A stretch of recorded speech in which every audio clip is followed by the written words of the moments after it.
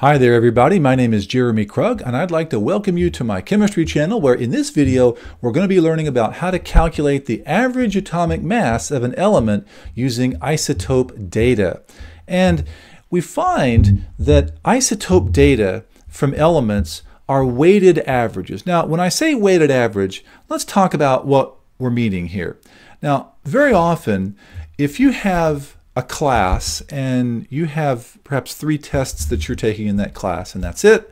And you have to find the average of those three scores like 50 60 and 100 for example. We know that to find the average of those three numbers you just add them up and then divide them by the number of values that you have. So 50 plus 60 plus 100 divided by 3 gets us an average of about 70. Now, we know that weighted averages are done differently. Now, when we talk about a weighted average, this is an example of how you might calculate a weighted average. Here's a problem. It says over the course of a school year, a chemistry student earns a 78.2% homework average, a 67.4% exam average, and gets a 62% on the final exam. According to the syllabus, homework is worth 40% of a student's final grade, exams are worth 50%, and the final exam is worth 10%. Calculate the student's final grade. So notice that the average is found differently.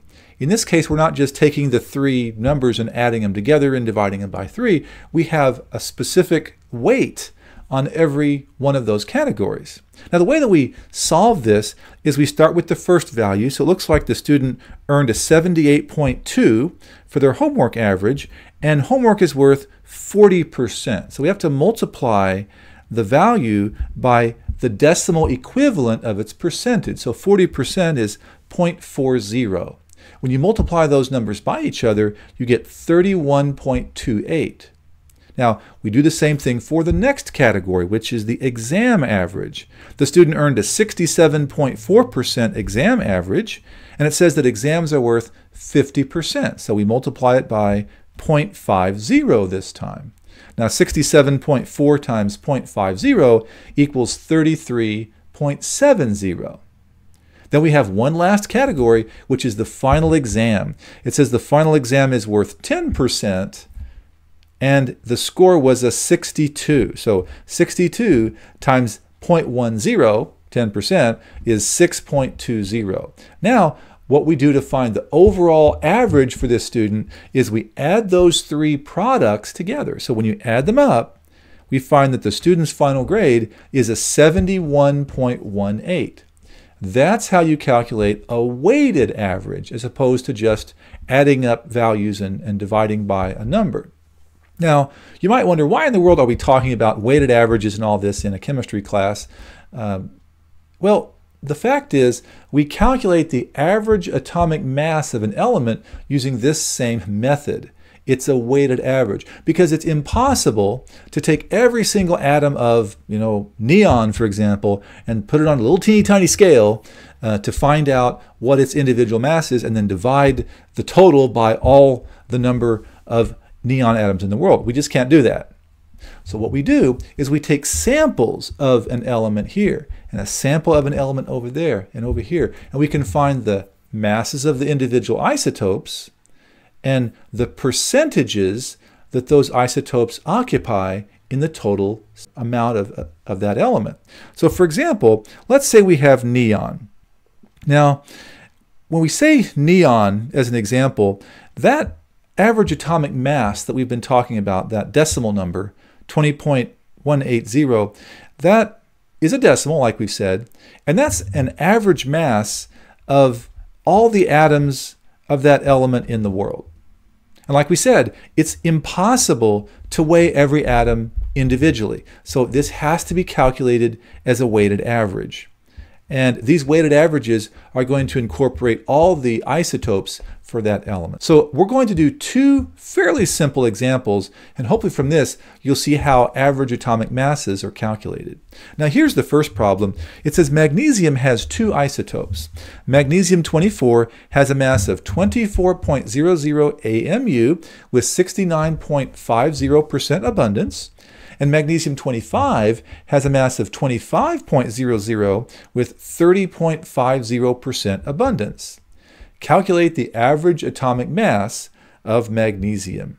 Well, once again, we start with the first isotope. It has a mass of 24.00 and its abundance is 69.50%. So we're going to multiply by the decimal equivalent of that, which is 0.6950. When we multiply those, we get an answer of about, and I'm rounding this off a little bit, about 16.68. Now, in our next isotope, it has a mass of 25.00 atomic mass units, and its abundance is 30.50%. So that's about 0.3050. When you multiply those out, you get an answer of about 7.625.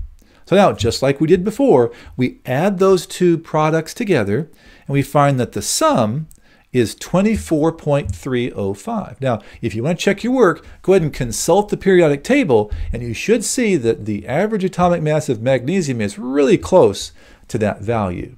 Now, before we go any further, let's just mention that AMU is uh, going to stand for atomic mass units. This is basically a little teeny tiny unit of mass that we use to measure the masses of atoms. One AMU is approximately the mass of a proton or a neutron, give or take a little bit. Uh, technically speaking, I think an AMU is considered to be exactly 1 12th the mass of a carbon 12 atom, but for our purposes, we can say it's about the size of a proton. Let's do one more example here. This time we'll take a look at scandium. It says scandium has two isotopes. Scandium 45 has a mass of 45.01 AMU, and it's 95.20% abundant, and scandium 44 has a mass of 43.88 AMU. Determine scandium's atomic mass. So once again, we're going to take that first isotope. It has a mass of about 45.01 and write that down. And we'll multiply that by the decimal equivalent of its abundance, which is 0.9520. And when we multiply that across, we get an answer of 42.850. Now, I'm not rounding off to the probably the correct number of, of significant figures. I'm just doing this to show you that we're going to get an answer that's really close to the right answer. Now, the next isotope is going to have a mass of 43.88, and we have a little problem here. You might notice that the problem does not tell us the percentage abundance of the other isotope. So what do we do? Do we throw our hands up in disgust and run away? Well, no. We know, hopefully we know, that the sum of percentages should be 100, shouldn't it? So mm-hmm. if we have two objects and one is 95.20%, the other one has to be 4.80%. Now, how do you write 4.80% as a decimal? Be very careful. It's 0.0480. A very common mistake is students will just write 0.48. That's not right you have to move it to the left exactly two places. So 4.8% is 0.048. Now, when you multiply these across, we get 2.106. Now, once again, to find the average atomic mass, we have to add these products together. So 42.850 plus 2.106 give us a total of 44.956. So if you take a look at the uh, periodic table, you'll find that the average atomic mass for scandium is really close to this value. So I hope you learned how to calculate the average atomic mass of pretty much any element on the periodic table based upon isotope data. If you learned something, if you enjoyed this video, please smash that like button. I really appreciate it.